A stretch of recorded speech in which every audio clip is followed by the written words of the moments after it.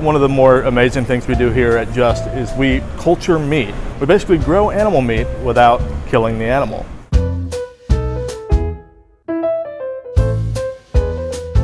This is, uh, you know, still kind of early in the prototyping phase.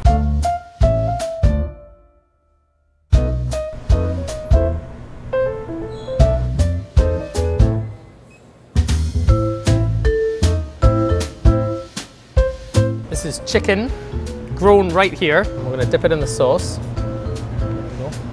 Take a bite.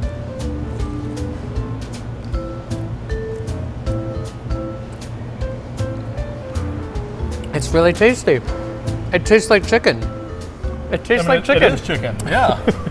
There is something to the structure of it mm-hmm. that is not quite the same as you might be familiar with. Although the taste is very similar, mm-hmm. The physicality, the feel of it in your mouth is slightly different. Right, and you know there are ways we can work on getting that together. I think finding things in the in the animal kingdom or 3D bioprinting is something that exists today. But as far as using that to manufacture food to feed the world, it is way too slow for that to ever be feasible.